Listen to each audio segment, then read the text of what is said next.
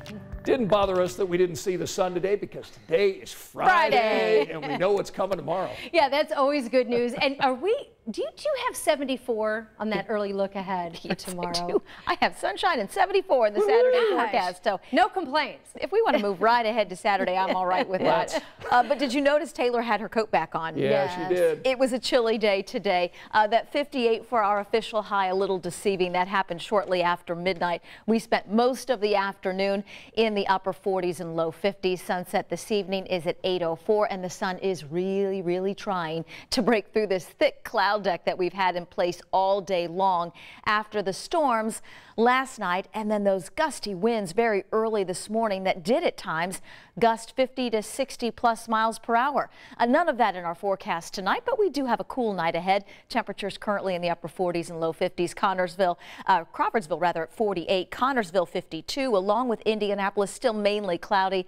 and still mainly cloudy over Sharpsville, currently 49 degrees. Let's head into the southern part of our viewing area. Cloudy skies, 53 Nashville, 54 Bedford, 53 Bloomfield, and cloudy and 54 in Greensburg across Decatur County. Sunshine back in the forecast for tomorrow afternoon, and Ann pointed it out.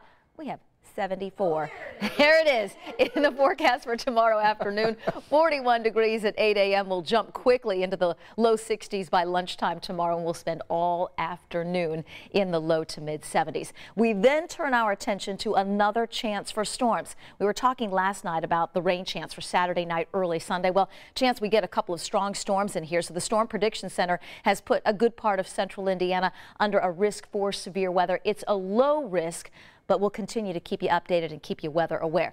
Sunshine in the Saturday forecast, warm again. This is Saturday 7 p.m. You can see the line of storms forming out to our northwest, but we're still dry. Let's time the arrival. It'll be sometime between 9 p.m. and 11 p.m. that this line of storms moves into the northwestern part of the state. It then starts to make a move south and east shortly after midnight. This is 3 a.m. on Sunday.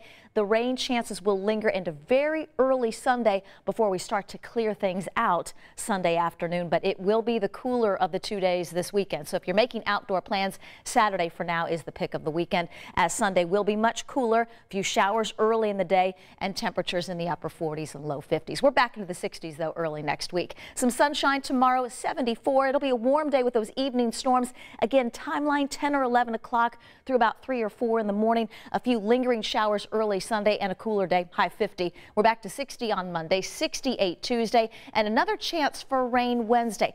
Interesting system to watch. It's either going to bring us rain and storms or rain and maybe a few flakes of snow. We'll keep you updated. We don't want to think about that because we're paying attention to that 74 tomorrow, aren't we, Ann? Absolutely.